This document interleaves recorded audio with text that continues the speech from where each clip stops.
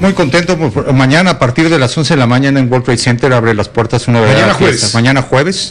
Al domingo 26 eh, es una fiesta realmente donde vas a conocer todos los lanzamientos de las marcas líderes del mercado, junto con lo que conlleva cascos, guantes, eh, chamarras, todo- Toda la parafernalia gama, alrededor de motociclismo. Una tecnología increíble aplicada ahora en todos los equipos de seguridad tan importantes, en un marco aparte de entretenimiento, glamour, en fin, pero lo interesante son los lanzamientos, ¿no? La esencia son lanzar las- los modelos que se acaban de lanzar en Italia, en, el ECME de Milán hace cuatro o cinco días, se, se lanzan oficialmente a nivel mundial y ya se dan a la luz, entonces somos el primer eve- el evento en todo América que presenta las primi- la primicia de lanzamientos, ¿no? Una vez más, como cada año, va a ser en el World Trade Center. Exactamente, con la bienvenida tradicionalmente al Museo de la Moto, salen a la luz de colecciones privadas, joyas icónicas que han escrito la, la historia del motociclismo mundial, la zona custom con el arte en moto, eh, el foro con conferencias, tenemos un foro de movilidad, palabra movilidad es tema en esto, la cuestión de la motocicleta, la proponemos como elemento de solución en ciudades como esta de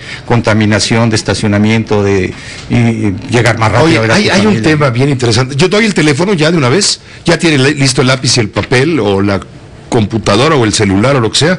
Es el 5279 2112. Repito, 5279 2112. 10 pases dobles que obsequia a usted Francisco Igartúa, responsable director general de la Expo Moto 2018.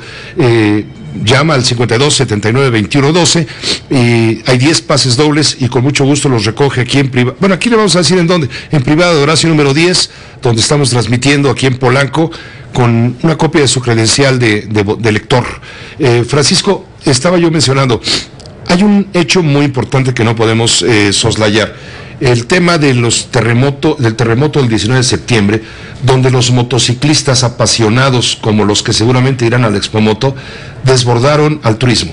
Exactamente, mira, ya existen redes de ayuda, eh, Motoalerta, por ejemplo, son redes ya, ya hechas de miles de motociclistas que están en contacto, entonces no es empezar de cero a contactar a alguien, sino que se activaron, nosotros con nuestras redes sociales fuimos transmitiendo, pero las motocicletas jugó un papel determinante en las labores de rescate, ¿no? Trasladando paramédicos. Los veíamos por todos lados llevando medicamentos, agua, e incluso a, a- a rescatistas. Exacto. Eh, los concentraba la Cruz Roja Mexicana.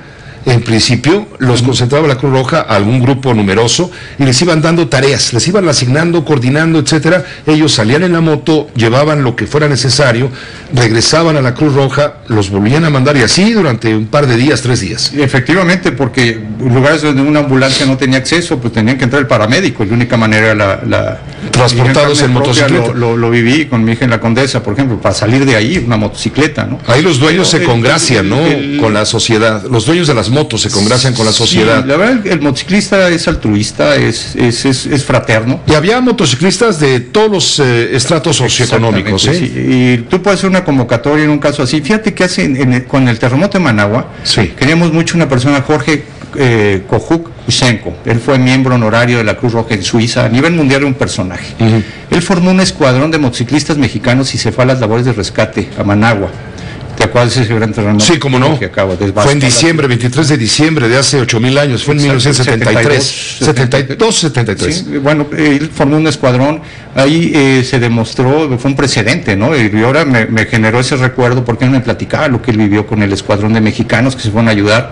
Pues es como que se replicó esa ayuda con motociclistas, como dice, de todos los estratos, pero se demostró que la, la motocicleta es un medio eficaz de transporte y de solución y, y el, y el motociclista está siempre eh, atento a, lo que se ofrezca, ¿no? Ayudarse, tú ves un motociclista, cuando es motociclista, ves un motociclista en la carretera y te paras. No sé si la Expomoto va a hacer algún reconocimiento a los motociclistas altruistas, solidarios, humanos, que tienen esta red activada, como dices tú, Claro dispuesta sí. a ayudar cuando sea. Pero bueno, ahí van a estar en, en la Expomoto a las motos que se han utilizado en este y en otros hechos graves, pero también para hacer deporte, también para disfrutar la pasión por el motociclismo, que es enorme. Es un universo de modalidades, podemos hablar de deporte, de estilo de vida, de pasión, de, de, en fin, de, comercio, generación. Traemos una delegación asiática para generar comercio de varios países, viene de Brasil, de Colombia, de... Es un, es un evento internacional donde puedes generar eh, eh, contactos de negocios. Ahí ha nacido prácticamente todo lo que está sucediendo, el hecho que hagas una motocicleta en un supermercado, ha nacido ahí en Expomoto. Y lo, lo más importante es que se, le, se, se genera, estamos queriendo generar una cultura vial adecuada. ¿no? Plantear a la motocicleta como una solución, pero, pero generar esa cultura. Tenemos un foro de movilidad, a la diputada Francis Pirí, que le toca la parte de movilidad, a platicarnos sus temas, en fin.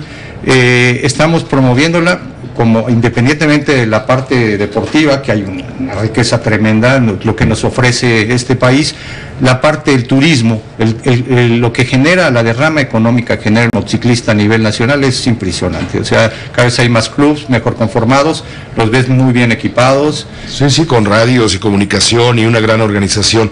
Pues te agradecemos mucho, Francisco Igartúa, el haber estado con nosotros. Eh, eh, invitándonos a la Expo Moto, jueves 23, viernes 24, sábado 25 y domingo 26, a partir de las 11 de la mañana. mañana. Hasta las 8 de la noche. El que va en moto para la mitad, en fin, eh, es un evento eminentemente familiar.